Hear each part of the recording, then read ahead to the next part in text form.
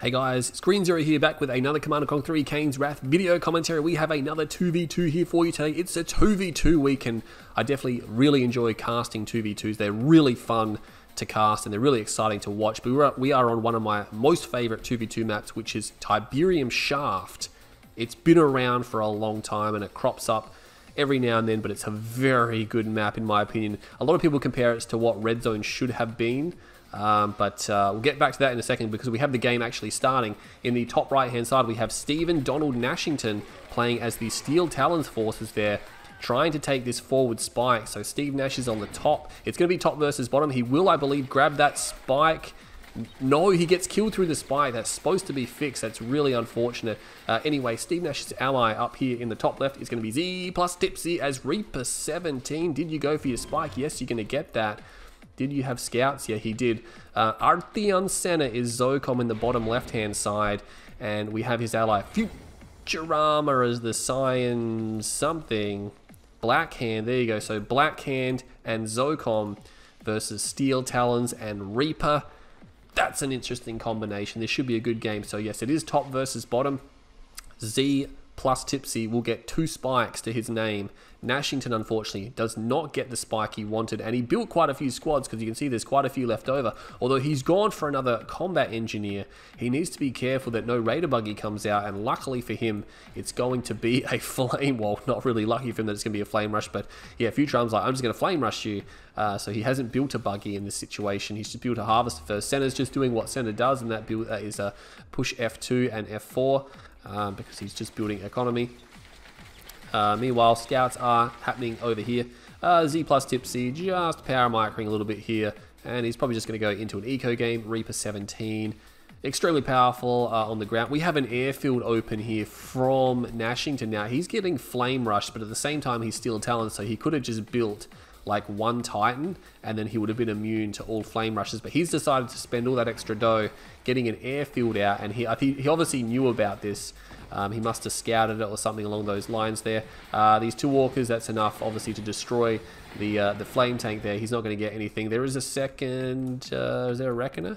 No, I think it was just one flame tank. Yeah, because he's got the squad, the squad over here. Flames this down. Futurama holds a spike. So Futurama has one spike. Senna has nothing. Tipzee has. What the hell is this? Oh my god, is Tipzee not aware of that? I mean, he would have had to drive past the spike. Oh man, he's going to need dev tanks, and he's going to need them yesterday. He doesn't have a nerve center. Oh, does he have one? Yes, he does. He's put it in his allies' base, so maybe for safekeeping, maybe to throw Senna off. But uh, it's a predator tank push, and you know this is obviously very powerful. But if dev tanks start coming out, obviously dev tanks can, you know, with their beam and with the tib right here, I mean, he's actually going to put down photon cannons. So he's going to try to take out that power plant. That's really annoying, by the way, because obviously Tipzee's very heavily reliant on that. Oh, the Orcas are smashing Senna. Senna's losing three. No, he, he missed it. He messed it up. He leaves a harvester behind. That's terrible. That fly, that's, that uh, spy's being flamed down. That is disastrous. Z-Tipzee has no power, so these photon cannons are not actually doing anything. He's got one of the dev tanks charged up, but it's a tower line as well. And the towers, of course, I think are just to draw fire because, again, the dev tanks will shoot at them and that will use their beam up and there is a cooldown on when they can recharge that as well so if they unload their beam too quickly they won't be able to charge it back up. We have a flame squad here from Futurama. I believe that must have crossed the map maybe. He, oh, he's actually going to use the stasis. That's obviously a big usage there. Tipzee's in a little bit of trouble. I'd use this opportunity to try to charge these dev tanks back up and get at least one more out in the meantime because his economy is pretty shot. He's got four har no, he's got five harvesters, but they're all stuck on one ref. He's going to go for that tip charge right there. He's going to grab that. He needs to want, probably want to clean that up. I mean, he could just crush the the squad there instead of unloading his, his green beam at it because again he's unloading green beam and now he's just changing targets again that dev tank he really can't afford to lose one of the dev tanks right now he's not pulling it back there you go I think maybe he was trying to pull it back but it got stuck all the action is centered on this area Senna meanwhile down here looks like he's got some defense for his harvest his Futurama is going to try to defend him but Senna is really going to be pushing it because he's only on two harvesters I think Tipzee will just weather this because, yeah, he's, he's, stalling. He can't get any dev tanks out, although he is managed to destroy these. But here, the Orc is actually now coming to assist. And there is actually a SAM turret being placed down here because Senna does have his MCV. He doesn't care. He's just going to go on and try to take out as many as he can. He lost one Orca. He's probably going to lose a second Orca. He's still in range. He needs to get out of there. He's trying to move around the top of the map, but yeah, only one Orca getting away. There's a Flame Tank here as well, and there's a Battle Marker over There's a Flame Tank over there. There's so much happening, I can't actually catch it all. The Dev Tank now firing at the War Factory. He's going to lift up the drone platform. Uh, meanwhile, this Flame Tank is destroying, completely destroying Nash. The Titan does take it out, but the War Factory will fall. These dev tanks now getting free repairs. They are charged up, and Senna is falling now. He's falling. Even a Guardian Cannon there. They're getting desperate. That Flame Tank will level what was ever over here, but uh, look at that. Tipzee almost losing his drone ship. He can't land that. He can't land that until it's secure because he's in deep trouble. And there's actually infantry here now. Futurama is just like, oh, I'm going to attack you as well with, with infantry. He's got the Flame Disciple already. And Tipzee now, these dev tanks aren't going to do anything. These dev tanks are useless. He's going to have to sell his whole base He's, and, and back out of this area. He needs to make sure he has three grand remaining. He's got two spies at his disposal, so he can probably recover um, as long as he gets some of these harvesters away. The dev tanks are useless against this, and they've actually pushed him out of his corner. This is crazy. This is a crazy game. Meanwhile, Senna just has all that, that harvest with literally nothing in the health bar. This is crazy. This is a crazy game. This is like the Suburban game I just casted, which you'll probably have seen because it'll probably be uploaded before this one. But these dev tanks are going to slip away. Nice veterancy on that one there. They're just going to manage to away. There's a tower here as well. Uh, that spike was destroyed, I believe. No, that strike is not... That's not strike. Uh, spike um, he uh, Nash does not have AP ammo though, so these towers are not particularly effective. He's got three of them here. There's actually a lot of man spam here without AP ammo. It's going to take too long to kill the Disciple Squad. He's going to be overrun. There is an Orca Strike coming in. Whoa, nice shot on that Orca Strike as well. Gets right on the, the, the, the, ledge there. That Titan is going to try to go in for a crush. He will crush some infantry, but he's going to be overrun. I mean, Nash is doing whatever he can to try to slow this down, and he's going to take the garrison there. That's a real pain because the towers uh, pretty much powerless, although Tipzee to the rescue with the Buzzer Hive can clear this. He instantly de-garrisons, so Futurama is controlling this impeccably, and he's pushed them right back as far as he can, but he's not going to get any further now. He's going to back off with what he's got. Senna has some units here, getting buffed by the Cabals, actually. You can see they do have the buffing on them uh, from the Cabals, but they will have to back off. Well, this is pretty intense. There's a Titan over there. Tipzee, does he have? He's got four dev tanks. Um, he can get. Uh, there's actually no War Factory from Nash, so and Nash doesn't have a, a, ref on his expansion. His economy is shot. Tipzee does not have a ref down here. I believe he's got one queued. There we go. Interesting placement there. I would have tried to place it maybe closer here, although he's got a lot of harvesters which will long range mine. Uh, looks like Orc is being destroyed. Surely they could have just destroyed that one harvester before going down, but unfortunately not the case. Or maybe that was something else. I didn't actually see what it was. Senna has put a ref down here. Tipzee seems to be aware of it because he's beaconed it. He's going to put a second one down. Now, we don't have any Nod players in the game, so, well, no Nod players on the top team anyway, so uh, placing those right close together is not terrible. Uh, they could be Firehawk bombed if they're too close together. I believe Futurama is the only one who hasn't really been attacked, and he's only just put a second ref down, so he did really negate his own economy. This is weird. All four players really just completely disrespected their own economies and now they're in really awkward positions. I mean, look at Senna's base. He's on the top left side center field. His main base has been pretty ravaged. Nash is kind of uh, gradually making his way over here, and Tipzee is now on this side of the map. So this is pretty crazy. I think a second ref is definitely on the cards for Tipzee and to put it over here and he can take this field. The best part about this map is that there is a lot of Tiberium on it. There's a lot of Tiberium. So we have 4, 5, 6, 7, 8, 9, 10. There's 12 green fields on the map. So uh, effectively uh, each player uh, gets three green fields um, at their disposal. Oh no, sorry, four. Wait, four, five, six, seven, eight, nine, 10, 11, 12. Oh, hang on. 12, 13, 14. There's 16 uh, Tib fields. Oh my god, I forgot to count the ones that they start off with. So 16 Tiberium fields on a map that's this small. And this is what I was talking about with Masterleaf before. This is like how they should have designed Red Zone Rampage. Um, if they wanted a small death pit level, it's a death match level, but I don't think it's a real death pit it allows the way the terrain is designed it allows people to you know, adequately defend and adequately attack and it forces them to go to the center at some point in time but they have these side fields and of course there's a little gap around them as well. EMP's control spikes so uh, Futurama does hold that spike by the way. Uh, fun fact capturing more than one spike has no effect. You don't get two of them um, but obviously having a second spike if one's destroyed obviously the other one will still grant you your ability. Uh, and Tipzee's going to come around here. He's got some shard launchers. Buzzer Swarm comes down. That's going to be the end of that infantry. Futurama, there's a bit of a gap here in this in his base, and he's going to be able to take down the tier two. Is he going for a tech center? I hope he's not going for a tech center. Whatever it was, whatever it was, it's still queued, so obviously not. Uh, he's going to be able to pop these units. There's only one shard walker left though. That's a bit of a problem. I mean, the devs can try to crush, but at the end of the day, these, actually these buzzers are still going. Are you serious? Those buzzers are still going, and they're just murdering these infantry squads one after the other. Laser turret comes down. He's still not able to clean the last ones up. He will finally clean them up. The, those two Shard Walkers, the last remaining ones, will be destroyed. Two Dev Tanks will back off. Again, that one with the veterancy is there. More Shard Walkers coming, but they're just going to back off. He needs to realize that he does hold that uh, EMP control center. Senna is now starting to get quite large. Yeah, four and two there, and he's got a, another ref down here on this base as well. A second War Factory comes down. He's not interested in any technology at all, although there goes the tier two. Um, no, he's not queuing anything further, so I think that's just so he can get his upgrades. Yeah, he's going for AP ammo straight away. Meanwhile, Futurama has moved to the center of the field. So yeah, Futurama and Senna are actually starting to look like they're gonna their eco is gonna get a little bit out of control. Tipzee has made short work of that field though. He's got a tech center down. Did he get conversion reserves? No, he didn't get conversion reserves.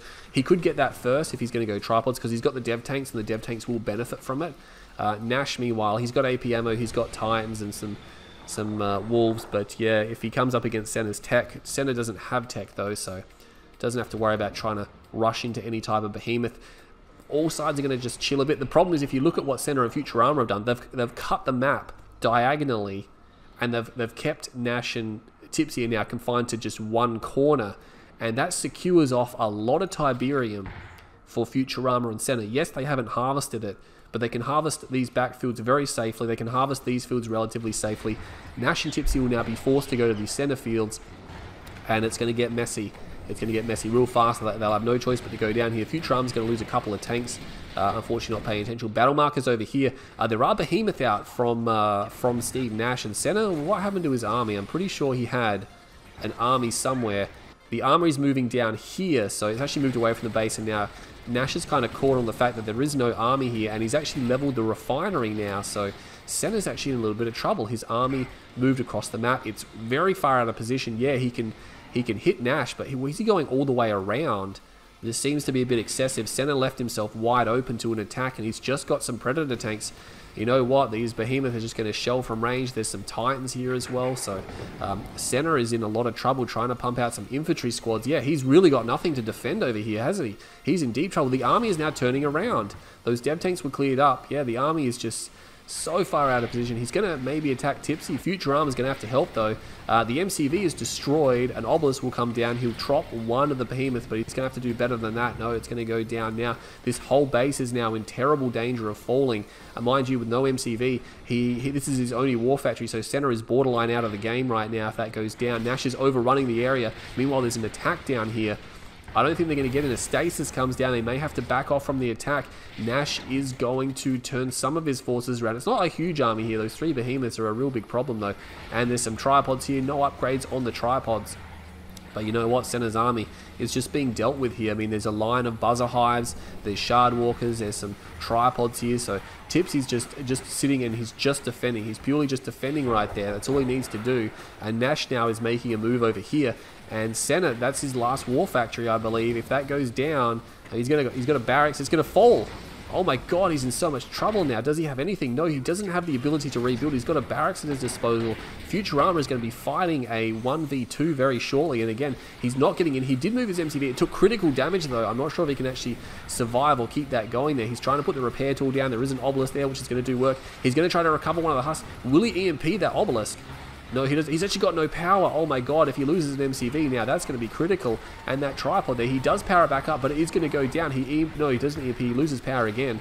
So the MCV is down, but there are two obelisks here. He needs some anti-infantry. Meanwhile, Nash is making short work of this base. Senna has been completely cleaned up. This whole area, I just can't believe that Senna did that. He just left his whole base wide open, completely exposed, and now he's actually been defeated. He's just tapped out of the game. That was really silly by Senna. I'm not sure what he was planning to do there. He knew Nash had an army on his doorstep, and he just opened the door and said, come right in.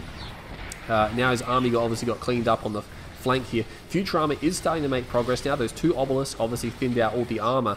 And uh, there is a Redeemer here now. Luckily for Tipzee, the MCV was destroyed, so it's going to limit the ability of this push. Spectre Artillery coming out and triple hand of Nod Infantry there. So there are behemoths here. They'll need to be dealt with.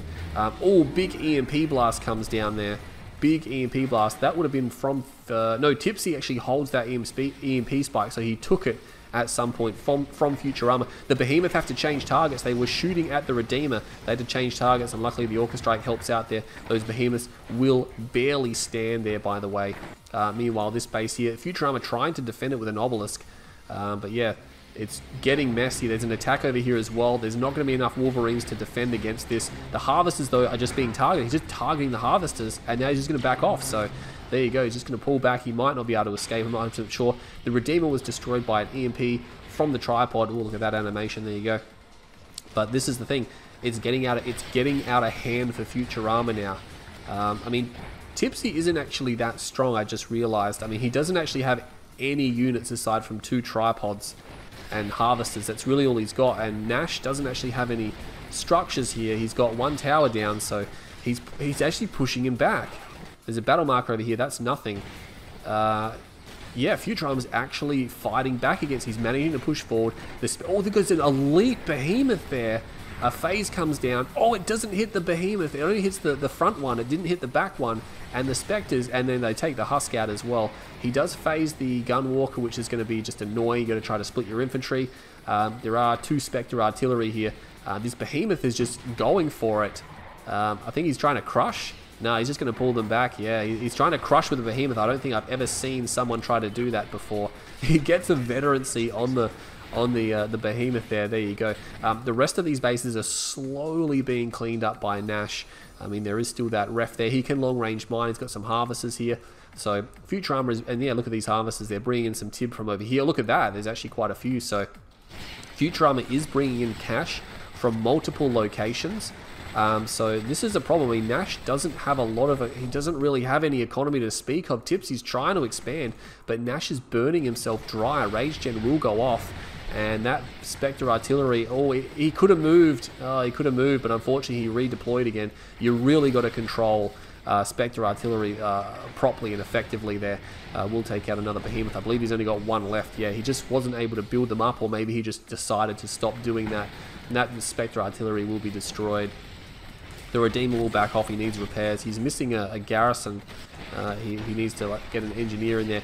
Uh, but somehow just infantry is still uh, doing the work. But this, this front line has not really moved. I mean, all the buildings are getting thin, but it's still the same area.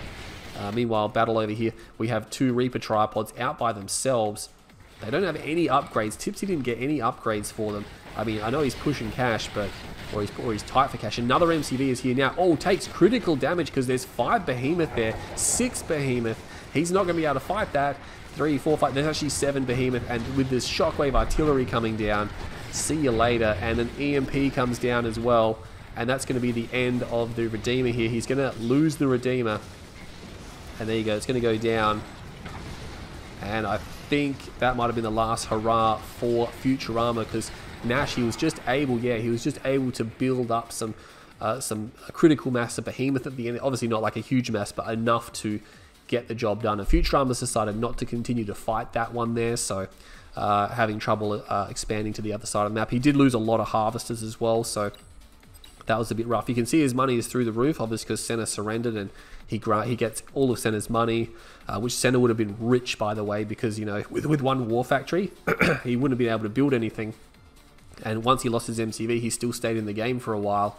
So he would have just like given him like a, a, huge amount of money, and not to mention all the buildings and the harvesters that he would have got him as well. So that's why you see that there. But you still obviously need to do something with that. Um, Tipzee 116,000. What did Nash get? Nash got a oh look at that.